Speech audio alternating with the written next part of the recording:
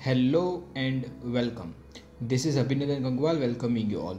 And today's topic is management as science, art and profession सी ये सबसे important topic है तुम्हारे बॉर्ड परस्पेक्टिव से इसीलिए ये टॉपिक को एकदम अच्छे से कंसेप्चुअली देखेंगे तो सबसे पहले देखेंगे मैनेजमेंट एज साइंस फिर देखेंगे मैनेजमेंट एज आर्ट एंड फिर देखेंगे मैनेजमेंट एज प्रोफेशन तो सबसे पहले देखते हैं कि management as science see management as science मतलब क्या कि क्या मैनेजमेंट साइंस है कि नहीं? वो कैसे चेक करेंगे सर कि मैनेजमेंट साइंस है कि नहीं? सी साइंस की जो भी कैरेक्टरिस्टिक्स है वो कैरेक्टरिस्टिक्स को हम कंपेयर करेंगे मैनेजमेंट के साथ. अगर यही कै, सारी कैरेक्टरिस्टिक्स साइंस की एप्लीकेबल होगी मैनेजमेंट को तो हम बोल सकते हैं कि हाँ मैनेजमेंट साइंस है, वरना नहीं बोल सकते। सिंपल एज दैट तो सबसे पहले कैरेक्टरिस्टिक्स हम कंपेयर करते हैं मैनेजमेंट के साथ। तो the first characteristics of science is that science is systematic and specialised knowledge knowledge तो है, लेकिन कैसा नॉलेज है? सिस्टमेटिक है। और कैसा? स्पेशलाइज नॉलेज स्पेशलाइज तो है कि हम एक फ़ील्ड पकड़ी साइंस की और उसमें हमने नॉलेज गेन किया। समझते सिस्टमेटिक नॉलेज सिस्टमेटिक नॉलेज मतलब क्या? सिस्टमेटिक नॉलेज मतलब कि आपने परम ज्ञान नहीं हो रातों रात, आपने एकदम अच्छे से उसको स्टडी किया है सिस्टम से। कैसे स्टडी किया? सिंपल साइंस को हमने पहले टेंथ स्टैंडर्ड में थे, फिर हमने उसको इलेवन साइंस में हमारे पास ऑप्शन था तो हमने इलेवन साइंस लिया था, फिर हमने ट्वेल्थ साइंस ऑप्ट किया था, फिर हमने बीएससी करी, फिर हमने एमएससी करा तो ये क्या हुआ? ये हमने सिस्टेमेटिकली साइंस की नॉलेज को गेन किया। तो क्या मैनेजमेंट में भी ऐसा होता है? जी बिल्कुल होता है। टेंथ के बाद हमारे पास ऑप्शन था तो हमने क्या लिया? इलेवन कॉमर्स लिया। फिर हमने ट्वेल्व कॉमर्स में आए। फिर हमने बीबीए किया। फिर हमने एमबीए किया। तो ये क्या हुआ? ये भी एक सिस्टमेटिक नॉलेज हुआ। तो हम बोल सकते हैं कि हाँ मैनेजमेंट भी साइंस के जैसे सिस्टमेटिक एंड स्पेशलाइज्ड नॉलेज है। तो चलो पह, पहली कैरेक्टरिस्टिक्स को एप्लीकेबल हो गई मैनेजमेंट को। सेकंड कैरेक्टरिस्टिक्स देखते साइंस की। क्या है? Cause effect relationship cause effect relationship मतलब क्या? कि अगर एक चीज़ होगी अगर एक इवेंट होगी तो वो इवेंट के इफ़ेक्ट में दूसरी इवेंट होगी। मतलब अगर ये होगा तो ये होगा। तो ये दोनों की रिलेशन क्या हुए? कॉज इफ़ेक्ट रिलेशनशिप मतलब अगर ए चीज़ हुई ए इवेंट हुई तो उसके रिज़ल्ट से बी इवेंट भी होगी. जस्ट फॉर एग्ज़ाम्पल से साइंस में ऐसा होता है कि अगर मैं वाटर की बात करूँ तो वाटर को अगर मैंने हीट किया, ये एक इवेंट हो गई वाटर को मैंने हीट किया तो क्या होगा? वाटर क्या बन जाएगा? वेपर बन जाएगा. Yes yes. तो ये एक इवेंट हुई, ये क्या हुआ उसका? कॉज हुआ, उसकी रीज़न हुई। और ये क्या हुआ, उसका रिज़ल्ट यानी कि उसकी इफ़ेक्ट हुई। तो ये कैसा रिलेशन हुआ? कॉज इफ़ेक्ट रिलेशनशिप तो क्या मैनेजमेंट में भी ऐसा कॉज इफ़ेक्ट रिलेशनशिप देखने को मिलता है? जी बिल्कुल देखता है। कैसे? सपोजिटली मुझे अपने एम्प्लॉयज़ को मोटिवेट करना है। तो यहाँ पे कॉज इफ़ेक्ट है। कैसे? कि मैं उनको बोनस दे दूँ फिनेंशियल इंसेंटिव दे दूँ। तो वो क्या हो जाएँगे? मोटिवेट हो जाएँगे। तो ये क्या हुआ? कॉज हुआ। जैसे पानी को गर्म किया तो वेपर बन गया। ऐसे ही अपने एम्प्लॉयज़ को मैंने बोनस दिया। तो वो क्या हो गए? मोटिवेट हो गए। तो ये क्या हुआ? इफ़ेक्ट तो हमने देखा कि दोनों कैरेक्टरिस्टिक्स जो साइंस की थी, वो मैनेजमेंट को एप्लीकेबल हो गई। नेक्स्ट देखते हैं साइंस की कैरेक्टरिस्टिक्स में क्या बोला है? यूनिवर्सली एक्सेप्टेड प्रिंसिपल मतलब साइंस प्रिंसिपल तो है, लेकिन कैसे प्रिंसिपल्स है साइंस के? That they are universally acceptable कि आप इंडिया में हो अमेरिका में हो ऑस्ट्रेलिया में हो, कहीं पे भी चले जाओ, ये प्रिंसिपल्स आप एप्लीकेबल होंगे। कैसे? Just for example best example अगर ले ग्रेविटेशन फोर्स सिंपल। अगर मैंने एक एप्पल लिया और एप्पल को मैंने उछाला या पत्थर लिया, पत्थर को मैंने उछाला तो वो नीचे ही आएगा बिकॉज़ ऑफ़ ग्रेविटेशन फोर्स तो ये चाहे मैं इंडिया में करूँ, ये एक्सपेरिमेंट चाहे मैं अमेरिका में करूँ, कहीं पे भी कर दूँ पूरे अर्थ में, ये एप्लीकेबल होगा। तो ये साइंस का प्रिंसिपल है। लेकिन कैसा प्रिंसिपल है? यूनिवर्सली एक्सेप्टेबल प्रिंसिपल तो क्या मैनेजमेंट में ऐसा कोई प्रिंसिपल होगा? जी, बिल्कुल है। सी मैनेजमेंट में भी कुछ फंडामेंटल प्रिंसिपल है। अब ये फंडामेंटल प्रिंसिपल्स जो है, हम देखेंगे डिटेल में सारे चैप्टर नंबर टू में, लेकिन अभी एक समझते हैं, खाली एग्ज़ाम्पल के लिए मैं बताता हूँ आपको, एक प्रिंसिपल मैनेजमेंट का है यूनिटी ऑफ़ कमांड क्या प्रिंसिपल यूनिटी ऑफ़ कमांड क्या होता है यूनिटी ऑफ़ कमांड में? तो हमारी जो ऑर्गेनाइजेशन स्ट्रक्चर है, अपने बिज़नेस में जो ये स्ट्रक्चर होती है, ये स्ट्रक्चर में एक प्रिंसिपल बोला है कि एक सीनियर है, ये दोनों उसके जूनियर। ये सीनियर इस, ये दोनों इसके जूनियर। ये सीनियर, ये दोनों इसके जूनियर। अब यूनिटी ऑफ़ कमांड क्या बोलता है कि अगर एक पर्सन काम कर रहा है तो इसके ऊपर सिर्फ़ एक ही सीनियर होगा जो उसको ऑर्डर देगा या जो उसको कमांड देगा। मतलब क्या? ये पर्सन को ऑर्डर देने वाला खाली यही होगा। इसको ऑर्डर देने वाला खाली यही होगा। क्यों सर ऐसा? क्योंकि देखो, अगर ये पर्सन को दो लोग ऑर्डर देंगे तो ये पर्सन कंफ्यूज हो जाएगा कि मैं किसका काम करूँ? इसका करूँ कि इसका करूँ? अगर दो सीनियर रख दिए तो फिर ये कंफ्यूज हो जाएगा कि मैं इसका काम करूँ, इसका करूँ, और दोनों में से किसी का काम नहीं होगा और कन्फ्लिक्ट होगी। इसीलिए हमने एक प्रिंसिपल बनाया क्या? यूनिटी ऑफ़ कमांड तो ये यूनिटी ऑफ़ कमांड मतलब क्या? कि सर, एक पर्सन एक एम्प्लॉय होता है, उसके ऊपर सिर्फ़ एक ही सीनियर होना चाहिए जो उसको कमांड देगा। मतलब कि हमने यहाँ पे सारे कमांड को इंटीग्रेट कर दिया। एम आई क्लियर तो ये क्या हुआ? यूनिटी ऑफ़ कमांड तो ये यूनिटी ऑफ़ कमांड खाली इंडिया में एप्लीकेबल है। नहीं सर, ये तो आप कहीं भी चले जाओ एप्लीकेबल होगा। तो एक ऐसा प्रिंसिपल हुआ यूनिवर्सली एक्सेप्टेड प्रिंसिपल कि जहाँ जहाँ इंसान आएँगे जहाँ जहाँ टीम आएगी वहाँ वहाँ में यूनिटी ऑफ़ कमांड को इम्प्लीमेंट कर सकता हूँ। नेक्स्ट अगर बात करें तो साइंस में क्या प्रिंसिपल है? Test of time test of time मतलब क्या? कि साइंस के जो भी प्रिंसिपल है साइंस के जो भी प्रिंसिपल है, उसको मैं कभी भी एक्सपेरिमेंट करूँ। चाहे पाँच हज़ार साल पहले करूँ, चाहे आज करूँ, या आज से पाँच हज़ार साल बाद करूँ, वो एक्सपेरिमेंट सेम रिज़ल्ट देंगे। तो इसको बोलेंगे test of time just for example मैं हाइड्रोजन के दो एटम ले लूँ और उसके साथ ऑक्सीजन का एट एक एटम ऐड करूँ तो फिर मुझे क्या मिलेगा? H two O that is क्या मिलेगा मुझे? वाटर मिलेगा। अब ये कोई आज का प्रिंसिपल तो है नहीं। ये क्या हुआ? It it stands on test of time मतलब कि इसको मैं आज करूँ? आज से सौ साल पहले किया होता या आज से सौ साल बाद करूँगा? कोई फ़र्क नहीं। पड़ेगा।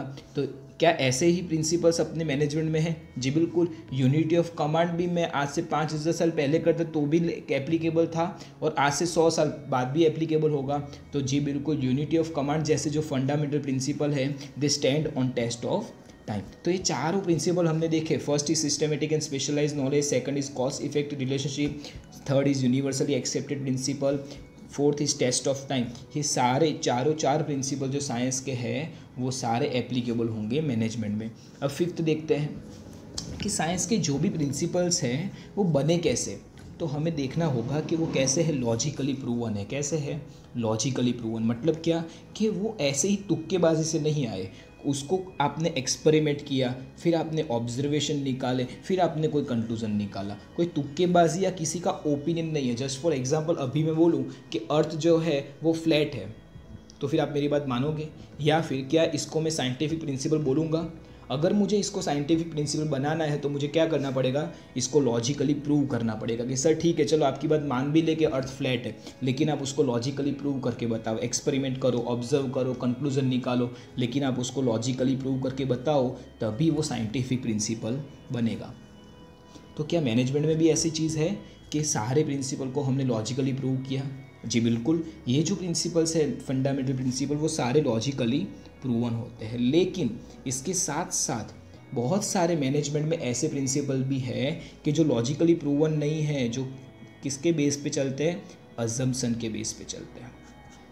तो इसका मतलब कि सर ये जो कैरेक्टरिस्टिक्स आपने बताई फिफ्थ वाली, ये हंड्रेड परसेंट एप्लीकेबल नहीं होती। ये कैसी एप्लीकेबल है? इट इज़ पार्शियली एप्लीकेबल तो ये फिफ्थ वाली जो कैरेक्टरिस्टिक साइंस की है, वो पार्शियली एप्लीकेबल देखो, मैं कंक्लूजन में ये बोलता हूँ that management is not pure science क्या बोला?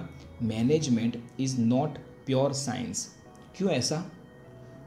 देखो simple management deals with human beings management किसके साथ डील करेगा? ह्यूमन बींग के साथ. और ह्यूमन बींग का बिहेवियर कैसा होता है? अनप्रिडिक्टेबल उसकी क्वालिटी क्या है कि वो प्रिडिक्ट नहीं हो सकता। हम कभी प्रिडिक्ट नहीं कर सकते। हम ये करेंगे तो ह्यूमन बींग ये करेगा। हमें तो मैनेजमेंट में क्या करना है? किसको मैनेज करना है? ह्यूमन बींग को। तो ह्यूमन बींग का तो बिहेवियर अनप्रिडिक्टेबल है। तो फिर ये सारी चीज़ें हंड्रेड परसेंट कभी एप्लीकेबल नहीं होगी। ये एप्लीकेबल तो होगी, मैंने बताया ऐसे। लेकिन कोई भी चीज़ हंड्रेड परसेंट एप्लीकेबल नहीं है। जस्ट फॉर एग्ज़ाम्पल पहली चीज़ तो एप्लीकेबल है। चलो सिस्टमेटिक एंड स्पेशलाइज नॉलेज है। लेकिन सेकंड कॉज इफ़ेक्ट रिलेशनशिप मैंने बताया ऐसे कि अगर आपको किसी को मोटिवेट करना हो तो आप उसको बोनस दे दो मोटिवेट हो जाएगा। लेकिन सर, सामने पर्सन कौन है वो भी तो देखना पड़ेगा। क्यों? क्योंकि मानो कि मुझे बिल गेट्स को मोटिवेट करना है और मैं उसको बोलूँ कि मैं आपको दस हज़ार रुपये एक्स्ट्रा बोनस दूँगा। आप मोटिवेट हो जाओ तो क्या बिल गेट्स मोटिवेट होंगे? बिल्कुल नहीं, सर। उस, यहाँ से हमें क्या मालूम पड़ा कि हंड्रेड परसेंट ये चीज़ एप्लीकेबल नहीं कर सकते। ये चीज़ जनरली एप्लीकेबल है, लेकिन सामने डिपेंड करेगा कि पर्सन कौन है, उसके हिसाब से उसका बिहेवियर होगा। और बिहेवियर के ऊपर डिपेंड होता है अपना management as a universally acceptable principle तो हाँ फंडामेंटल जो प्रिंसिपल्स हैं मैनेजमेंट के, वो यूनिवर्सली एक्सेप्टेबल तो है, लेकिन इसमें भी कंडीशन क्या? कि सर डिपेंड करता है सामने वाला बिहेव कैसा करे वरना ये सारे प्रिंसिपल्स एप्लीकेबल नहीं होंगे। Test of time again human behaviour change हो जाएगा तो टेस्ट ऑफ़ टाइम पे स्टैंड ना भी करे। लास्ट लास्ट तो हमने पहले ही देखा था कि पार्शियल है। तो फिर यहाँ पे हम क्या बोलेंगे? कि management is not pure science तो फिर सर इसको क्या बोल सकते हैं? अगर ये प्योर साइंस नहीं है तो?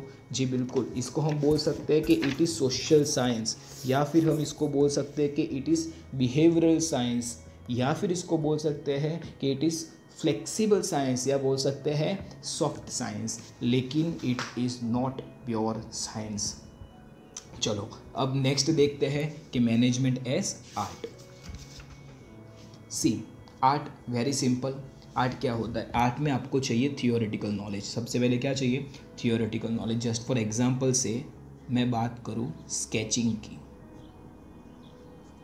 मुझे अगर स्केच बनाना हो तो मुझे स्केच की बेसिक नॉलेज चाहिए कि भाई सर जो कोई होता है, उसमें आपको ग्रिड बनानी रहेगी। बराबर? उसमें से आपको यहाँ पे आइज़ बनानी होगी, यहाँ पे आपको माउथ बनाना होगा। और कलर्स की नॉलेज चाहिए मुझे। तो ये क्या हुआ? This is basic theoretical knowledge लेकिन थियोरेटिकल नॉलेज के साथ साथ मुझे क्या चाहिए? उसको अगर मुझे इम्प्लीमेंट करना हो तो पर्सनल स्किल और एक्सपर्टिजेशन चाहिए। मतलब क्या? पर्सनल स्किल मतलब उसमें मुझे दिखानी पड़ेगी क्रिएटिविटी या बोल सकते हो इंटेलिजेंस तो मेरी यहाँ पे स्किल भी काम आएगी। थियोरिटिकल नॉलेज तो सबके पास होगा कि ग्रिड कैसे बनाए कलर्स की नॉलेज ये सारी नॉलेज सबके पास है। लेकिन फिर भी उसको इम्प्लीमेंट करने के लिए मुझे क्या चाहिए? क्रिएटिविटी अगर क्रिएटिविटी नहीं होगी तो फिर आप स्केच बना नहीं सकते या कोई भी आर्ट नहीं कर सकते। जस्ट फॉर एग्ज़ाम्पल से, मैं यहाँ पे एक टेबल के ऊपर एक एप्पल को रख दूँ और दो पर्सन दो आर्टिस्ट है, दो पेंटर है, उनको बोलूँ कि आप दोनों इसका स्केच बनाओ। तो आपको लगता है कि क्या दोनों का स्केच सेम होगा? बिल्कुल नहीं सर क्यों? दोनों के पास थियोरेटिकल नॉलेज तो सेम है, दोनों के पास कलर की नॉलेज तो सेम है, दोनों के पास इंस्ट्रूमेंट भी सेम होंगे टूल्स भी सेम होंगे, लेकिन फिर भी दोनों की पेंटिंग अलग अलग बनेगी। रीज़न बिंग सर दोनों उसको इम्प्लीमेंट करते वक्त अपनी अपनी पर्सनल स्किल और अपनी अपनी एक्सपर्टाइजेशन बताएँगे, दोनों अपनी अपनी क्रिएटिविटी बताएँगे। सेम चीज़ मैनेजमेंट के साथ भी है। कैसे? अगर मैं एक ही कंपनी लूँ एक ही कंपनी अगर दो अलग अलग पर्सन को मैनेज करने के लिए दे दूँ। एक ही कंपनी को अगर दो अलग अलग पर्सन मैनेज करेंगे तो दोनों के मैनेजमेंट में फ़र्क आएगा। कैसे? क्योंकि सर बेसिक नॉलेज तो दोनों के पास सेम है, लेकिन वो नॉलेज को जब आपको इम्प्लीमेंट करना है तो फिर आपको अपनी क्रिएटिविटी पर्सनल स्किल और एक्सपर्टेशन दिखाना पड़ेगा। एम आई क्लियर तो हाँ यहाँ पे तो बोल सकते मैनेजमेंट इज़ एन आर्ट पहले हमने क्या देखा? Management is not pure science यहाँ पे क्या देखा? मैनेजमेंट इज़ आर्ट अब बात करते हैं प्रोफेशन की। सबसे पहले समझते कि प्रोफेशन होता क्या है। सी प्रोफेशन मतलब कि आप कोई एक स्पेसिफिक फ़ील्ड पकड़ लो, जैसे कि आपने डॉक्टरेट पकड़ ली, जैसे कि आपने वकीलात लॉयर बराबर। टीचिंग तो ये क्या हुआ? स्पेसिफिक फ़ील्ड है। अब ये स्पेसिफिक फ़ील्ड में आप क्या करो? स्पेशलाइज्ड नॉलेज ले लो। स्पेशलाइज्ड नॉलेज मतलब एकदम इन डेप्थ नॉलेज ले। अब ये इन डेप्थ नॉलेज आएगी कैसे? सर मैं कॉलेज में जाऊँगा, वहाँ से मैंने डिग्री ले ली। और वो डिग्री के साथ साथ मैंने अपनी स्किल डेवलप कर ली। फिर मैंने क्या किया? उसकी प्रैक्टिस चालू कर दी। तो फिर मैंने क्या कमाना चालू किया? फ़ीस तो ये क्या हुआ? प्रोफेशन जस्ट फॉर एग्ज़ाम्पल से लॉयर लॉयर क्या करेगा? लॉयर यही करेगा। सबसे पहले वो डिग्री लेगा कोई लॉ कॉलेज से, फिर उसने अपनी स्किल डेवलप करी एडवोकेसी की और फिर वो सबके पास से फ़ीस लेगा। सिंपल एक स्पेसिफिक फ़ील्ड हमने पकड़ ली। वो स्पेसिफिक फ़ील्ड में हमने स्पेशलाइज नॉलेज लिया। वो स्पेशलाइज नॉलेज लेने के बाद हमने फ़ीस कलेक्ट की। तो स्पेशलाइज नॉलेज कैसे मिलेगा सर डिग्री से और उसके साथ साथ क्या होनी चाहिए? स्किल होनी चाहिए। एम आई क्लियर नेक्स्ट देखें। तो कोई भी प्रोफेशन हो, वो प्रोफेशन का एक होता है प्रोफेशनल एसोसिएशन प्रोफेशनल एसोसिएशन मतलब क्या? कि वो एक ऑर्गेनाइजेशन होता है प्रोफेशनल्स का कि जो वो सबके लिए मॉरल कोड ऑफ़ कंडक्ट और यूनिफॉर्म जैसी बातें जो होती है, वो डिसाइड करते हैं। जस्ट फॉर एग्जांपल से लॉयर तो उनका यूनिफॉर्म होता है फिक्स डिसाइड किया उनके एसोसिएशन ने कि उनको ब्लैक कलर का ब्लेजर और या ब्लैक कलर का कोट और वाट पहनना होता है डॉक्टर वाइट कलर का पहनेंगे कोट तो moral code of conduct moral code of conduct मतलब क्या? कि रूल्स एंड रेगुलेशन जो कि डिसाइड करेंगे प्रोफेशनल एसोसिएशन यस तो क्या ये सारी चीज़ें मैनेजमेंट में देखी जाती है? समझते हैं। क्या मैनेजमेंट अगर आपको करना हो तो कोई डिग्री चाहिए? जी बिल्कुल, आपने कौन सी डिग्री ली? एमबीए ली। लेकिन मुझे एक बात बताओ कि क्या ये MBA की डिग्री मैनेजमेंट के लिए कंपलसरी है? बिल्कुल नहीं। क्यों? क्योंकि अगर आपके पास ये डिग्री नहीं है, फिर भी आप मैनेजमेंट तो कर ही सकते हो अपने बिज़नेस का। हाँ अगर आपको कोई बड़ी कंपनी का मैनेजमेंट करना हो तो फिर ये डिग्री कंपलसरी बनेगी। मतलब क्या? कि ये डिग्री है तो सही, लेकिन it is not very compulsory थी। लेकिन फिर भी हम बोल सकते हैं कि ये चीज़ें अभी आने लगी मैनेजमेंट में कि अभी डिग्री सब लोग लेते हैं, फिर स्किल भी डेवलप करते हैं और फिर फ़ीस चार्ज करते हैं। तो ये चीज़ अभी आने लगी। पहले नहीं थी, लेकिन अब आने लगी। फिर देखते प्रोफेशनल एसोसिएशन क्या मैनेजमेंट में कोई प्रोफेशनल एसोसिएशन है कि जो सबके लिए moral code of conduct rules and regulation या फिर यूनिफॉर्म डिसाइड करेगा? जी बिल्कुल नहीं। कोई प्रोफेशनल एसोसिएशन नहीं है और कोई यूनिफॉर्म भी नहीं है। लेकिन ये फ्यूचर में आ सकता है क्योंकि अगर एमबी की डिग्री आ गई और अगर ये कंपलसरी धीरे धीरे बन रहा है तो फिर ये चीज़ भी फ्यूचर में आ सकती है। मतलब हम बोल सकते हैं कि management is not pure profession but it is developing profession के अभी आया है और धीरे धीरे डेवलप हो रहा है। ये फ्यूचर में डेवलप होकर एकदम पक्का प्रोफेशन बन जाएगा, जैसे टीचिंग है, जैसे लॉयर है, जैसे डॉक्टर है। लेकिन आज हम नहीं बोल सकते कि मैनेजमेंट इज़ प्योर प्रोफेशन तो I hope it is clear that management is not pure science it is art and it is developing profession तो हम बोल सकते हैं कि हाँ management is science art and profession but it is not pure science pure art और pure profession but it is a very beautiful blend of three of them कि हम तीनों चीज़ को मिक्स करके मैनेजमेंट पढ़ते हैं। Okay I hope everything is clear अगर आप लोगों को कोई भी डाउट हो तो आपको पता है, आप मुझे व्हाट्सएप या कॉल कर सकते हो। अभी के लिए आप ये चैनल सब्सक्राइब कर लो लाइक कर दो। Thank you thank you so much